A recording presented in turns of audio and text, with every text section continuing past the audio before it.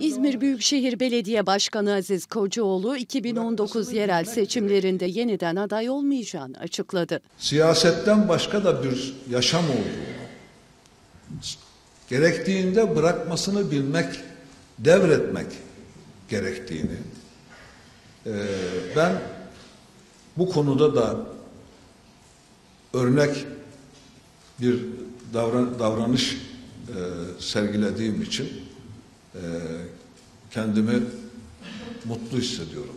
Yani koltuk bırakılmayacak bir şey değil.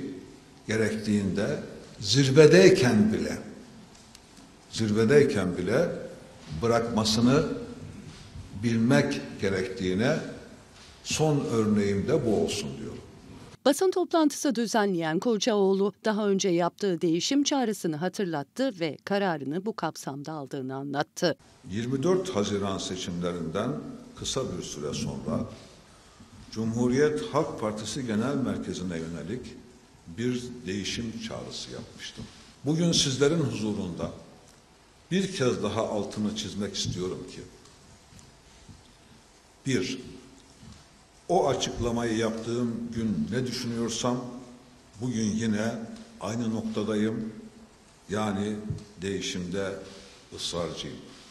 İki, değişimin tehdit değil, fırsat olarak görülmesi gerektiği kanaatindeyim.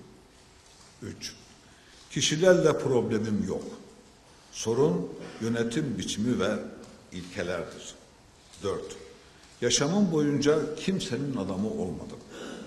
Sözlerimin arkasına başka şeyler gizlemedim. Ne düşünüyorsam onu söyledim.